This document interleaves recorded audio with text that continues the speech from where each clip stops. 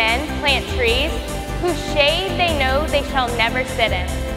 This proverb teaches us the importance of planning ahead for future generations.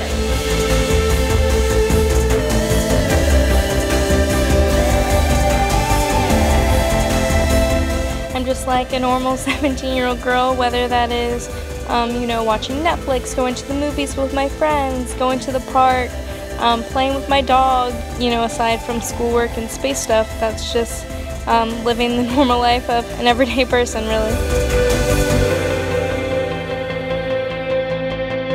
In conclusion, 15 years from today, I will be home, standing on red sand, looking up at the clear sky, looking for a little pale blue dot looking for our planet Earth.